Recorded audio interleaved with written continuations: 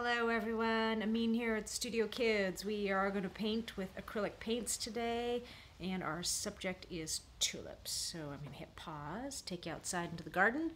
We'll take a and we'll take a closer look at our subject matter. These are kind of the last of them. They're still hanging in there. It's pretty pink and white ones. Should come in a little closer so you can see those colors nicely organic shapes. And notice our tulip leaves are kind of long. Stems are really long. Some of those leaves fall over. We're going to incorporate our blue sky and all that green. So I'm going to hit pause again. We'll go back inside and get set up. I did these a few days ago and we'll be posting a time-lapse video of one of those in progress. Um, three pieces of paper, 4 by 12 inches each piece.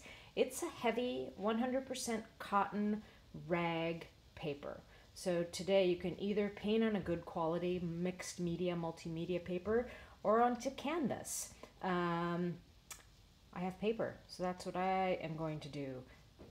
I did earlier today do this one on canvas and it's a 6 by 12 it had something else on it, and I just totally recycled that canvas. So just painted right on top of um, what was there before. So what you will need today is, this is what my palette looks like. And let me just grab my list.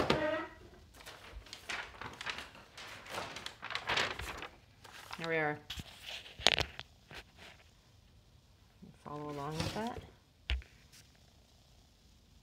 All right, so palette knife, brushes. They are flat, three quarter inch, so it's a square brush. When you turn it on its side, it gives you a really fine line. So we're gonna paint with it this way and width ways. So I want two of those. And another one in a smaller size. This is a number six flat brush. The palette, that refers to what you're putting your paint on. I like to use a plastic lid. So this lid is sort of a shoebox size. So when you're done for the day, you can mist this whole thing just with plain water. And then you can put the box on it, just like that. And then you're good to go tomorrow. That'll keep your paint fresh. Acrylic paint dries really quickly and just spritz it with water again if you're not going to use it tomorrow. So I was painting earlier, so this is my remnants. So as you can see, I'm not going to scrape all this off and start fresh again. I'll just add more paint as needed. These are our colors. Titanium white, a deep olive green, or hooker's green. They're the same. Phthalo green, phthalo blue, alizarin crimson, cadmium yellow light, a red violet light or a pink, and some acrylic gloss medium. Size options 4 by 12 6 by 12 We're using that long format to kind of emphasize the composition of our tulips. I'm just going to do two stems on this one piece of paper. So let's start. Here we go. Start with this paintbrush. We are going to put just the tiny bit of blue up here at the top maybe a spot on the edges. And then with that same brush, I'm going to dip right into my white, scoop it right up, and start painting. There's a little bit of blue still on that brush. So if I work in the middle, it's going to give me that pale, pale blue in the middle. I'm going to add more white to my brush. And now I'm going to work on those outside edges so that they might be a little bit darker up at the top. I'm really just getting a first layer down. I'm going to come back over this once my tulips are painted and kind of give it a, a second coat. This is our quick first coat where it's fairly light still. And down at the bottom, maybe I'll do just a touch of green down here. And add a little bit of that medium. That medium will just be transparent, but it'll help kind of that blend. So I have this pale green that works into the white into the blue. That's it. Next, we're gonna grab, we'll just stick with this brush. I have a rag that I'm gonna just wipe it off. I'm not gonna use water because with today's colors, I don't really need it. So the next thing I'm gonna do is I'm gonna start adding my stems and leaves. So I'm gonna dip into this. I'm going to use some of this phthalo green and a little bit of yellow and a little bit of white on my brush. Just tap it a little to blend it. Not a lot, just a little. When I was outside, I noticed that those tulip stems, they bend and curve and twist. And I'm going to put another one over here. Uh, there's a lot of white on that brush over here. Get some more paint. And I'll have this one bend in the other direction. And it's a little bit shorter. I don't want them both to be the same height composition. That would not be very interesting, so I've staggered the height. Next, let's get some more paint on that brush. A little bit of the hooker's green, the phthalo green, a little yellow, and maybe just a little tiny bit of white, and paint a leaf. So, brush techniques. With the stems, I kept that brush straight up and down, barely touching it to keep a nice narrow line. With the leaf, I'm going to start about here because the leaves, when I was outside, I noticed they're not as tall as the stem. So I'll start here with the brush narrow, pull it down slowly, and slowly pushing down, bend that brush so that it's wide, and then bring it down to the bottom. Get more paint, and maybe add some more paint to that. There seems to be more paint on the other side of the brush. So maybe we'll add some more paint. Get more paint on the brush and do the same thing and paint another leaf.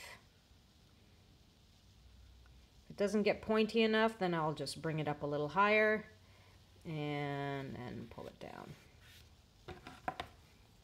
Get more paint and I'm just I'm using the same colors each time. That phthalo green hooker's green a little yellow just a touch of white. They're all on the brush together and we'll come over here and we'll add a leaf on this side so I just twist that brush to get the shape of the leaf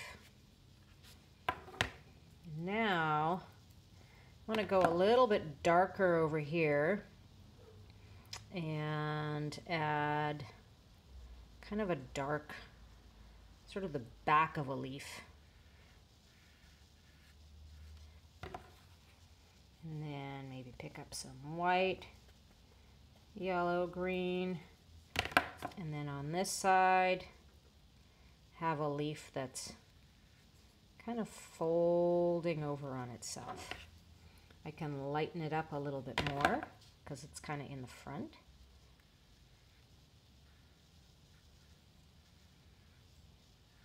So that's its shadow and that's the front part of the leaf. And maybe add a few more that are a little more subtle. Maybe there's a stem going off to the side. And that's about it. Next, let's paint our tulips. So we'll take the smaller brush, put that other brush to the side, get our pink, light pink, dark pink, and a tiny bit of white just on the corner. And our tulips are sort of a U shape that have a bit of a shake to them because these ones are opening up. So I'm going to start up here, go side to side a little bit, have it wider at the bottom, have it turn up and just let the brush kind of flick on its side. I kind of like that. And the other one, maybe I'll put a little more white on my brush, that dark. So I've got all three colors on there. So white the dark pink and the light pink. And we'll put another one through here. Again, it's gonna have a little shake. Maybe I'll flip the brush over this time.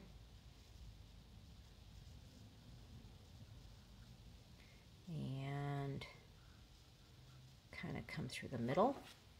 And maybe a little more white on the top.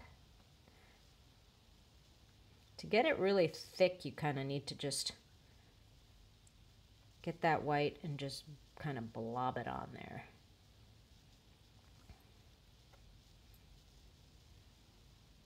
I always have more than one color on my brush.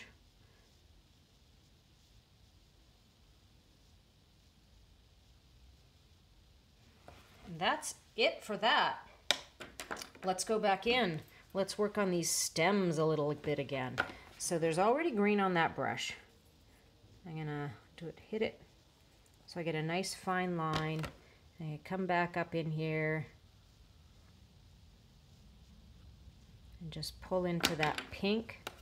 And I'll take my pink brush and give it a little hit down here so that starts to blend just a little bit.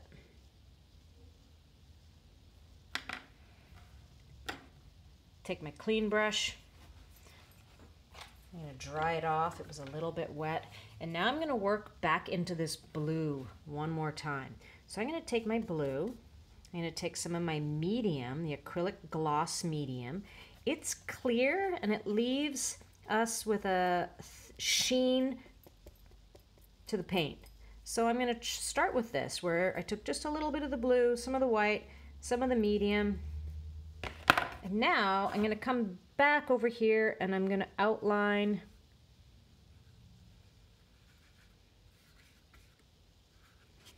and I think I want it more opaque.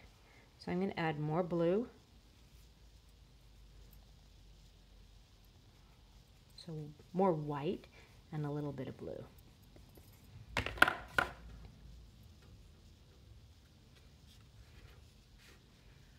And I'm going to give this sort of a, a second coat. That first coat, the paper really absorbs a lot of the moisture from the paint. So when it dries, it looks really dull. So we want to go over it a second time to kind of get some gloss back in the paint. It's the other reason why I don't have water to wash my brushes because that would just dull everything out. Um, and so I'm just gonna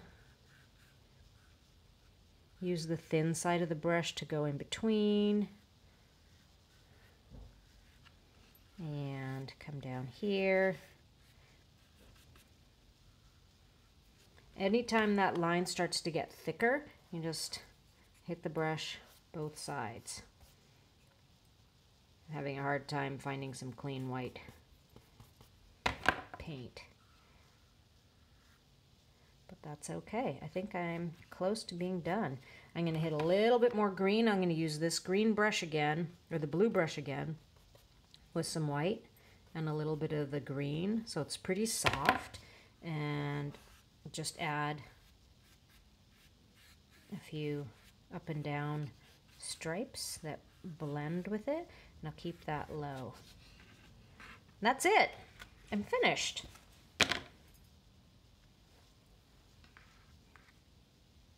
I like doing these in series. So then I would pull out another piece of paper. My paint's all out. Go ahead, paint another one.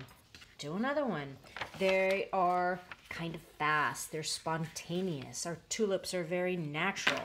So we don't want to overpaint them. You want to use your brushes to make the marks. Here's our list again. If you are enjoying this, please do follow me on YouTube, Ameen Dhillon. I teach classes at Studio Kids and I keep a blog, so studiokids.com. You can uh, follow that and you'll see a whole bunch of pictures of all kinds of projects I've done in the past. And this, again, here's our finished tulip. Few more, and one more. All right, see you next time.